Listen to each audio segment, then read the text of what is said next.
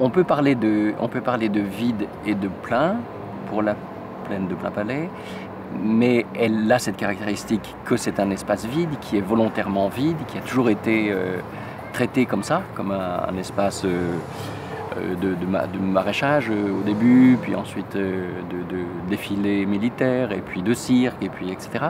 Et de lieux de loisirs, comme c'est le cas aujourd'hui. Et, donc ce, vide, il est, essentiel.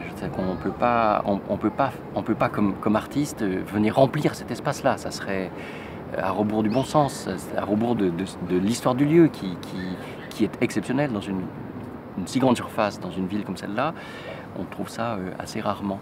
Et euh, comme artiste, il faut travailler sur le vide, il faut continuer. C'est-à-dire qu'il faut justement, au contraire, euh, faire en sorte que ce vide soit qualifié, euh, qu'il prenne euh, une, qualité, qu'il soit, soit visiblement vide. C'est-à-dire que, nous, ce qu'on peut faire, c'est remplir le vide de vide, dire deux fois la même chose. Et c'est ce qu'on essayait de faire. Donc, euh, vraiment en rajoutant, en montrant toutes ces couches, et de montrer que toutes ces couches sont dans le silence, dans la discrétion, et, la pièce, la, pièce, notre pièce commune, elle, disait ça, elle était vraiment tout à fait en retrait. C'était à peine perceptible. Il n'y avait rien de rien de monumental.